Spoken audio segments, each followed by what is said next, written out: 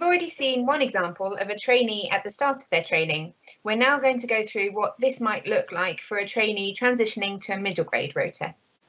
This trainee writes in their PDP that they want to feel more confident to step up to the middle grade rota by the end of the placement. Their supervisor then helps them turn this into a SMART goal in having confidence stepping up to the middle grade rota and breaks this down into smaller targets. So the targets you can see being added here and the targets that they've chosen to achieve this are leading a ward round, which they can evidence with a leader assessment, leading a handover, which they can evidence with a hat, seeing patients in clinic, which could be evidenced with a doc for a clinic letter or perhaps a development log, leading a resus scenario, which they could evidence with an ACAT assessment, and finally attending the transition to leadership course, which they can evidence with a development log and upload their certificate.